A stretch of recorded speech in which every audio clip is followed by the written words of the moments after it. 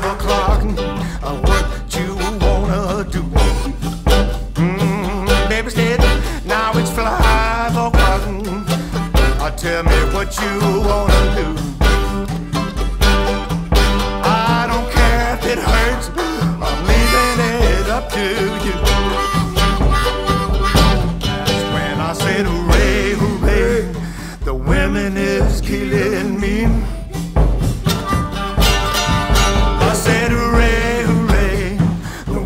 is killing me. If you don't believe it, just wait right here and see.